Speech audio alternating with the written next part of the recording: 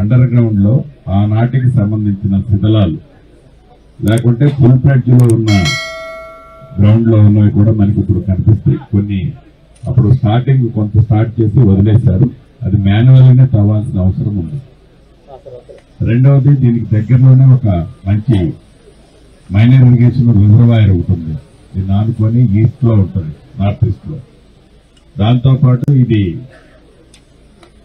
మనం టూరిజం లో the best place కింద దీన్ని మనం బౌద్ధ మతానికి సంబంధించి బెస్ట్ ప్లేస్ కింద దీన్ని మనం ఫోకస్ చేయడానికి కానీ న్యాచురల్గా దీన్ని ఉన్నది దీంట్లో అప్పటిన్న జీవకళ చాలా స్పష్టంగా కనిపిస్తుంది.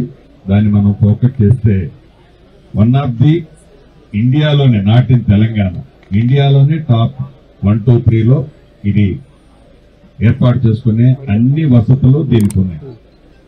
ఇందాక గౌరవ మంత్రి గారు చెప్పినట్లు నిధుల ఇబ్బంది ఈ ప్రభుత్వం టూరిజానికి పెద్దపేట వేస్తుంది. ఈ పెద్దపేట వేసే దాంట్లో భాగంగా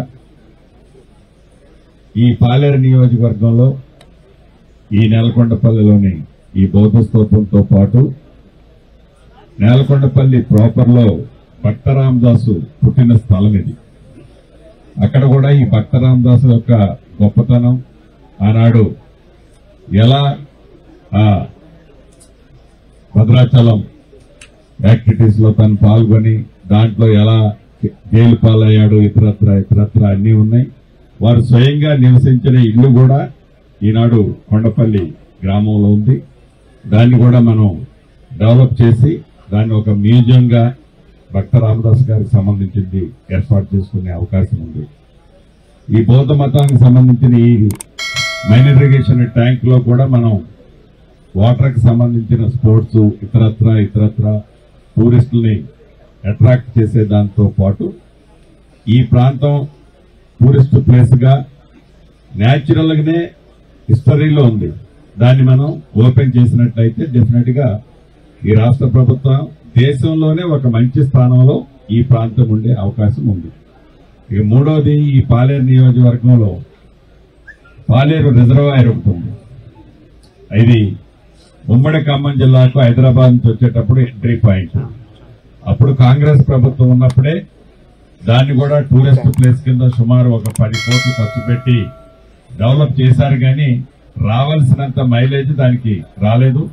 సుమారు అది one point four one point five TMC capacity ఉన్న రిజర్వాయర్. అది నిజాం నవాబ్ టైంలో కట్టిన రిజర్వాయర్. చాలా అది కూడా అద్భుతంగా ఉంటుంది. హైవే పక్కన ఉంటుంది. దాన్ని కూడా ఇక్కడ మూడు ప్లేసెస్లో ఒకటి పాలేరు రిజర్వాయర్ రెండు భక్తరామదాసు నివాస స్థలమైన నేలకొండపల్లిని వారి నివాస స్థలాన్ని టూరిస్ట్ ప్లేస్ని మరింత డెవలప్ చేయటం. మూడవది దేశంలోనే వన్ ఆఫ్ ది బిగ్గెస్ట్ బౌద్ధ స్తూపం ఉన్న ప్రదేశం ఇది. ఈ మూడింటిని ఈ నియోజకవర్గంలో చేసినట్లయితే డెఫినెట్గా టూరిస్ట్ ప్లేస్ అభివృద్ధి జరుగుతుందని మనస్ఫూర్తిగా డిప్యూటీ సీఎం గారికి గౌరవ మంత్రివర్యులకి ఎంపీ గారికి మిగతా టూరిజం చైర్మన్ గారికి అందరికీ మనస్ఫూర్తిగా తెలియజేసుకుంటూ మీరు సహకరించాలని కోరుతున్నాను.